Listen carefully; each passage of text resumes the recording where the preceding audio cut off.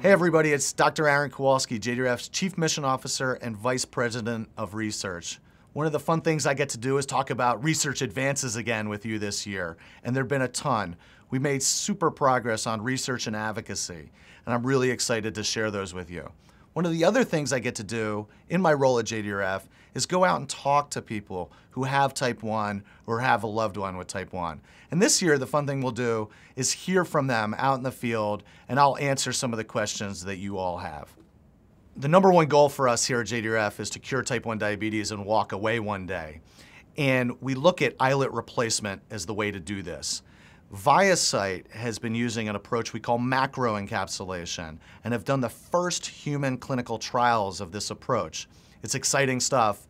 And in the first studies just reported in January, they're seeing the cells grow up and differentiate, start to become like islets, and make some insulin. It's the early stages, but to me, this is one of the most exciting advances of this last year. There are other amazing groups working on this problem as well. Up in Boston at Harvard and MIT, we have two of the smartest people in diabetes, Dr. Doug Melton and Dan Anderson, working on another approach to encapsulation. And they've shown just this February that in mice, they can grow insulin producing cells and restore normal blood sugar levels.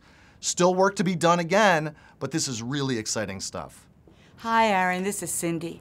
My son was diagnosed when he was 14 years old. He's now 27 and engaged to be married. So, of course, as his mom, I'm very, very curious about what JDRF is doing in terms of clinical trials and other research initiatives so that he and future generations can live in a world without type 1 diabetes. Cindy, thank you so much for your question. This is obviously a huge um, concern of mine. I have three kids, and we worry about our family and our family history of type 1 diabetes. I'm so proud that JDRF has taken a leadership role in prevention. Over the last 10 years, we've learned a ton about what causes type 1 diabetes and the progression of type 1. Just this year, we led an initiative with a number of key stakeholders to redefine the stages of type 1 diabetes. And this is really important because it'll help companies develop new therapies and do clinical trials faster. I'm proud of our partnership with the Helmsley Charitable Trust. They've worked hand in hand with us on our prevention portfolio. This is a top priority for JDRF.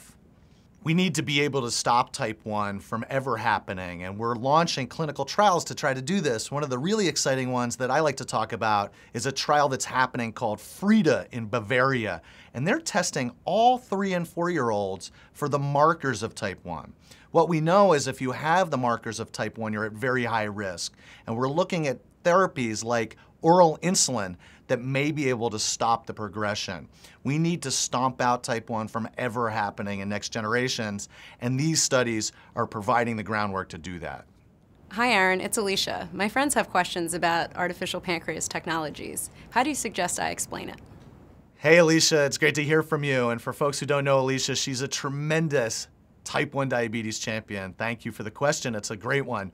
Artificial pancreas systems will be pumps and sensors that talk to each other. And the amazing thing of what we've seen in clinical trials is they do two really important things.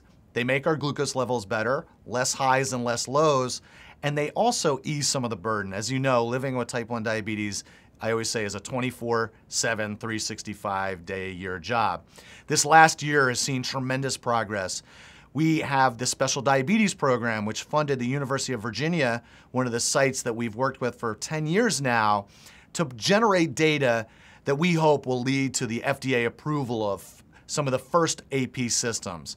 And we expect the first AP systems to hit the market in 2017. I'm super excited. It's something I've worked on for a long time at JDRF, and I can't wait to have my own AP system.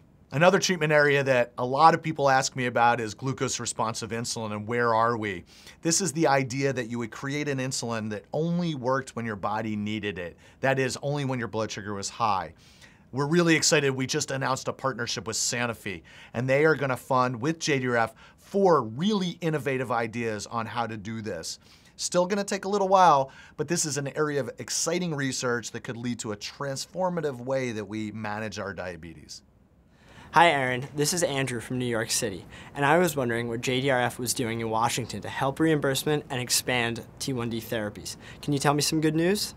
Advocacy is such an important thing that we do at JDRF, and one of the areas that we focus on is the ultimate metric for success for us is somebody doing better with their diabetes. Meaning, if we have a new advance and you don't have access to it, we haven't succeeded yet.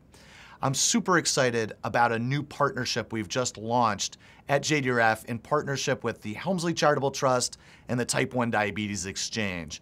This is focused on access to new advances in type 1 diabetes, whether it's CGMs, artificial pancreas systems, and eventually a cure for type 1. We need all of you to sign up to be advocates. You can make a huge difference and partner with us to make sure people do better. I'm so excited about the advances that we've made over the last year. It's really because of people like you. As a person who lives with type 1 and has a family member with type 1, it's so meaningful. We need to get to the goal line. We need to prevent, cure, and treat type 1 diabetes. And we can't do it without your support.